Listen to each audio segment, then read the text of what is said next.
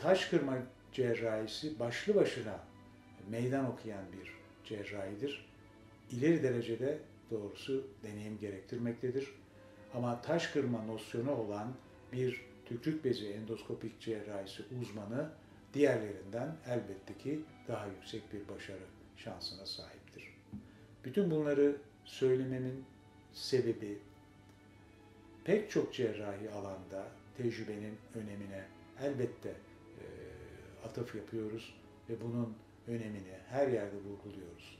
Pek çok uzman, pek çok konuda ileri uzmanlık çalışması yapmaktadır ve ülkemizde ileri uzmanlaşma adına gerçekten yüz güldürücü bir yerdeyiz. Ancak tükürük bezinin endoskopik cerrahisi çok özel bir cerrahi tekniktir.